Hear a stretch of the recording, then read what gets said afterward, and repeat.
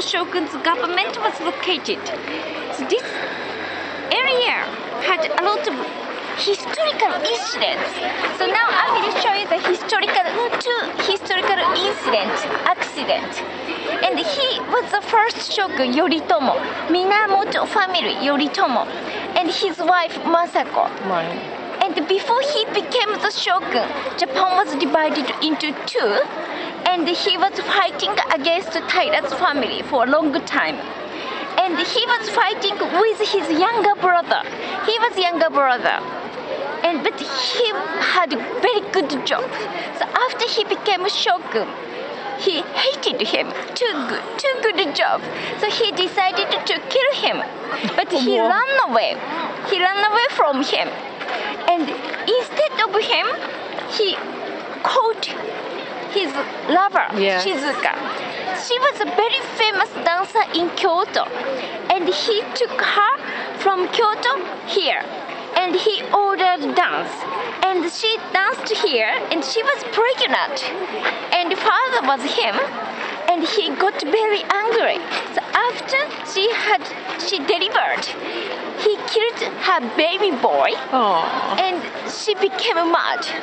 And she danced here behind you. This is a dancing platform. Shizuka's dancing platform.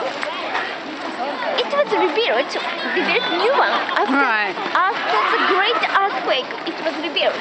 But this is a dancing platform nowadays or two times a year. Mm-hmm. Some Shinto priests dance here for the spirit of her. Mm-hmm. And the second very famous after he died, he had two sons. Mm-hmm. First son, second son. Mm-hmm. And the first son became the shogun.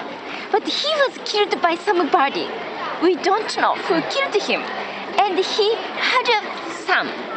And this, this son was a Shinto priest of this shrine. Mm-hmm. And he thought maybe his uncle killed him. Yeah. So he decided to revenge him, revenge father. Mm-hmm. And he was a Shinto priest, so he was hiding behind a big tree. And he came to shrine and he attacked him. And he was killed by by Kugyo, him. Mm-hmm. And later he was killed by somebody. So all people were killed except for mother. And he was hiding behind big tree. Big tree was this one. Oh. Big ginkgo tree. So this shrine has very